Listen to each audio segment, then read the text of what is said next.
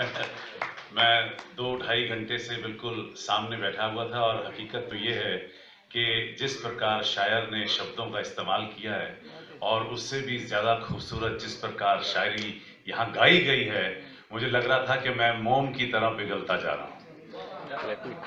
तो शायद इसलिए और गया था कुर्सी के साथ। मैं तय दिल से शुक्रिया अदा करना चाहता हूँ डॉक्टर मृदुला चंदन जी का। और यहाँ सभी आए लोगों का इतना खूबसूरत समा बांधा है, इतनी खूबसूरत आवाज़ के अंदर।